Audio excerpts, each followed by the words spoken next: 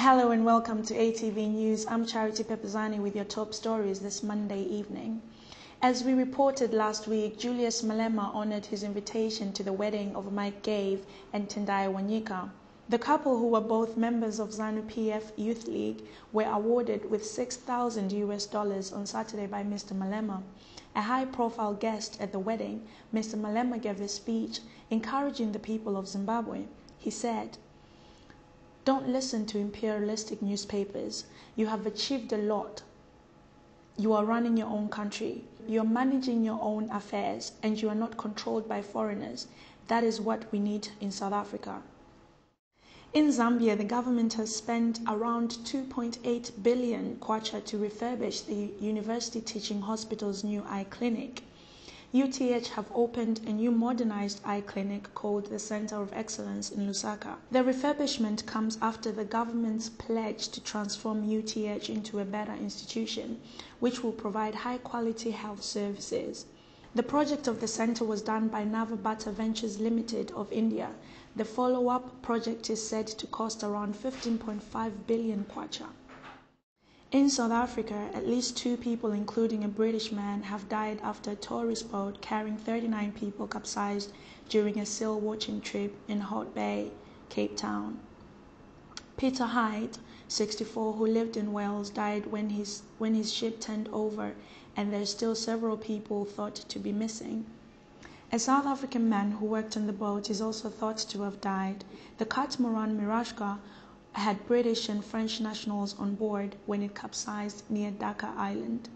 A man from Inkai village assaulted his wife and forced her to a village court for not serving him the best pieces of the chicken relish she had prepared.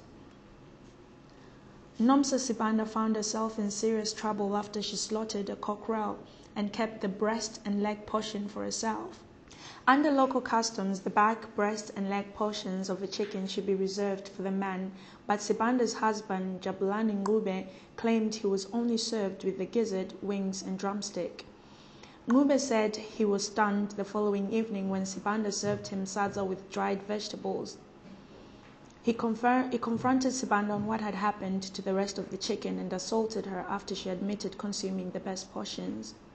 In Cape Town, a lack of finances has brought about the cancellation of the annual Miss South Africa teen pageant. The pageant, which is linked to Miss South Africa, has been having difficulties with sponsors for a couple of years. The pageant, which was divided into two, Miss South Africa and Miss South Africa Teen, will now serve as one platform and the age limit has been reduced.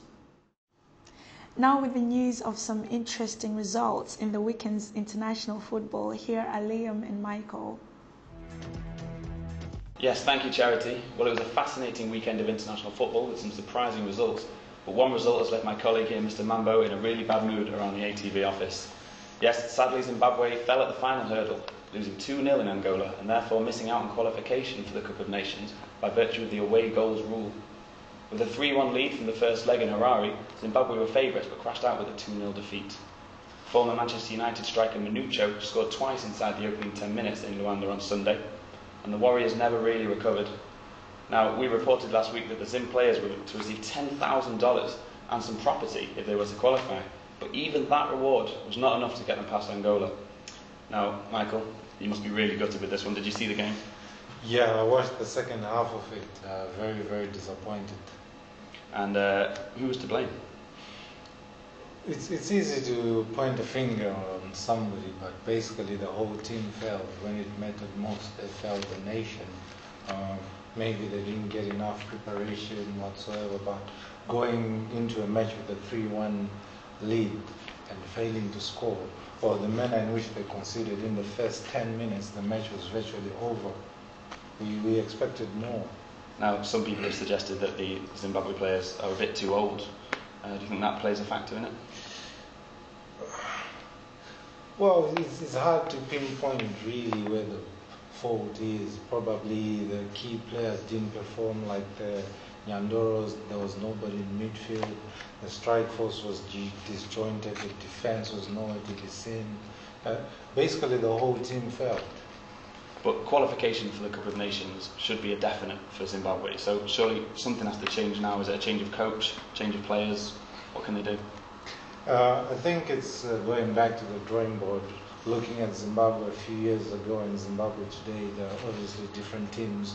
Uh, we also have to look at our neighbors, look at Zambia, look at South Africa, uh, look at the surrounding nations. What have they done for them to qualify each time around, and what can we do as well as a nation to make sure we qualify?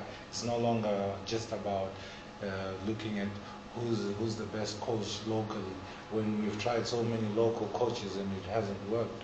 If we bring in probably somebody else with a different perspective, like follow the Zambia route where they have a French coach, but the guy who's running uh, the Zambian FA is Kalusha Bwalya. So he's a former player and there's that passion in there. Now, our ATV viewers have been getting in touch in their hundreds on Facebook, and uh, they've been just saying quite how distraught they are at the result. Francis Musaredzero says it was just pathetic, and Teddy Richards says he was left heartbroken after the game. One thing's for sure, something needs to change with the Zimbabwe national side. Now, reigning African champion Zambia scraped through to the finals after a dramatic penalty shootout. Uganda dominated the game but failed to complete the task when Patrick Ochan missed the decisive spot kick in sudden death. Geoffrey Massa scored for Uganda on 27 minutes to level the aggregate score, and the Cranes generally dictated the play, but they couldn't find a way through an inspired Zambia keeper, Kennedy Mweene. He produced a series of saves to keep his side in the tie. Now, the holders scraped through, but it wasn't an impressive performance, was it? Well, they did enough to get there in the end. It's better than Zimbabwe. it's definitely better than Zimbabwe, but they're going to have to improve a lot if they're going to retain their title. Yeah, they're, they're going to have to improve. You find that most nations have improved. Even look at uh, standard that Uganda played. That they played with their hearts, and uh, the last time the last time they lost a match at that stadium was in 2005. And to date, it's only through penalties, but they won the, the tie one 0 Well, again, we've been asking for your views on Facebook about the Zambian performance and what it means for them going into the finals. Nigel Sazaiba says the coach needs to do something about it. These performances aren't good enough.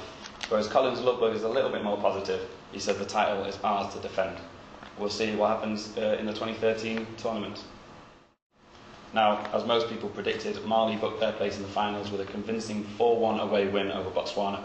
That means they won 7-1 overall on aggregate. Goals from Cheikh Tidiane Diabate, Modibo Maiga, Mahamadou Samassa and Abdou Traore secured an eighth continental finals appearance for the Eagles. This was the first game for Botswana in their new refurbished stadium in Lobatse, but there was very little for their fans to celebrate as they crash out. Mali, Mali must now go into the tournament amongst the favourites. So, Michael, we talked about miracles for Botswana. It didn't happen. There was no chance of it happening. Uh, Mali is too strong of a team for Botswana. Uh, they're doing well in terms of like renovating the stadium and getting the facilities up to scratch. Maybe in the near future they will be a better team, but presently they're still the underdogs in Africa. Now, moving on to Mali, they've, they've put seven past them in two legs. They finished third in last year's tournament. Can they go a little bit better, maybe win it? Well, it may be Mali's turn to win the cup. They've, they've been just about there the past uh, tournaments, so who knows? Maybe on the day that we'll win. Okay, well, you heard it here. It might be the winners in January. We'll have to wait and see. And finally, we talked about England on Friday. They faced San Marino, the joint worst team in international football. Surely only a goal fest was on the cards. Well, England did win 5 0 in the end, with two goals from captain Wayne Rooney and two for his Manchester United strike partner, Danny Welbeck. Arsenal youngster Alex Oxlade Chamberlain finished off the goals. A win is a win, but many will feel that England should have scored a lot more against a team of part time footballers, many of whom have careers away from the game. One sour point of the night was a bad injury to Theo Walcott, who clashed with the San Marino goalkeeper and had to be sent to hospital with a rather serious chest injury. He will now miss the next qualifier in Poland. So, Michael, we talked about goals, yeah. but you said England can often disappoint us. Is 5 0 disappointing? Well, considering that uh, San Marino has a population of uh, 48,000 and England has a population of 50 million, you would have expected maybe a goal a minute or so, just going by the stats. But as we said, so often England disappoint. Why do you think that is? Do you think it's, it's too many international players in our league, or what is it? I think it's, it's the hype that, uh, well, the British tabloid put on their players because they, they they put them up to be super superstars when they haven't yet even established themselves as a good, credible team. You had the golden age, the likes of Beckham, Lampard, Gerrard. They were the ones who were supposed to win the World Cup after 1966 World Cup. But look what happened. They're all gone. We've got a new crop coming in. So maybe it's, it's, it's time they followed uh, other countries like Spain, the way they did uh, their strategies and stuff. Um, we talked about Wayne Rooney, he was captain on the night. Um, he, he did his job, didn't he? Two goals and a decent performance. Yeah, he, he led by example, worked very hard for the team, and uh, wish he could play like this every game. Now, England's next game is a totally different task away at Poland. It should be a really tricky tie. We'll be here to discuss that game and several other international games on the cards. Join us then. In today's photo of the day competition, we decided that this picture of Isaac Mandula was our favorite. Keep your photos coming into us on our ATV Facebook page. Thanks for watching and have a pleasant evening.